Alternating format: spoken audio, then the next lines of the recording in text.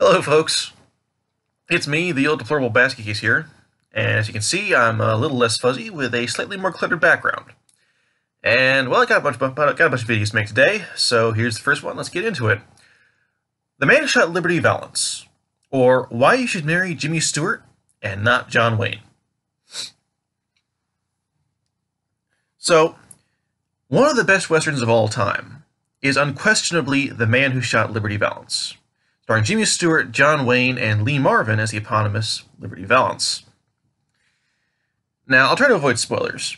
Um, John Wayne is John Wayne. He's a he's a rancher in a western town, and uh, he's got a girl, not married yet. He wants to he wants to uh, do some stuff before he's married, before he marries her.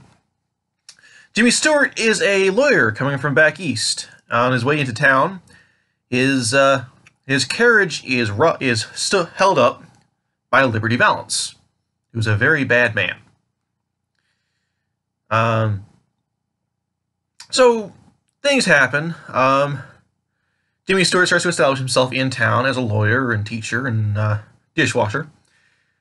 And uh, John Wayne's girl starts to be attracted to him. Not because Jimmy Stewart is uh, trying to woo her or anything, but just because Jimmy Stewart is a is a, is a really good guy in in this in this movie.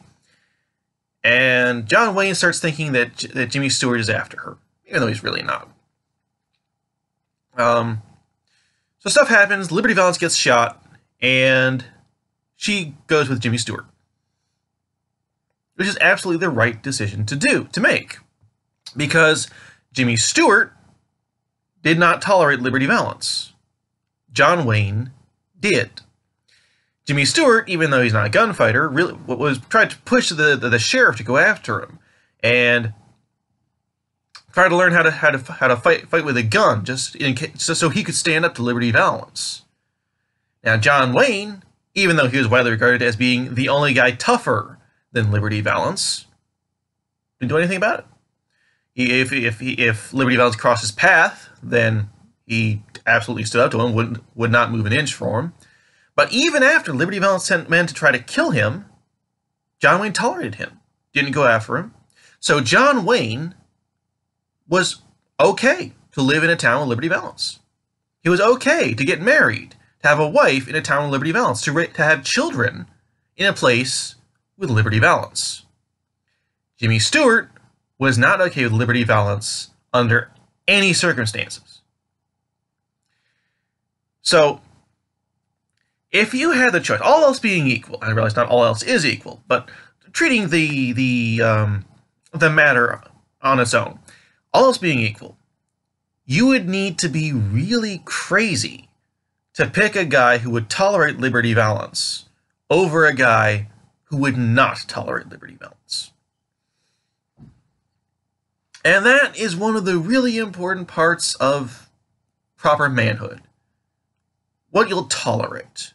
Because there are things you should not tolerate, and there are things you should tolerate.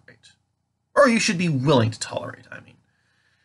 And it, it there are it, it is subjective a little bit, but um, there are there are subjectives in there are objective things in this world.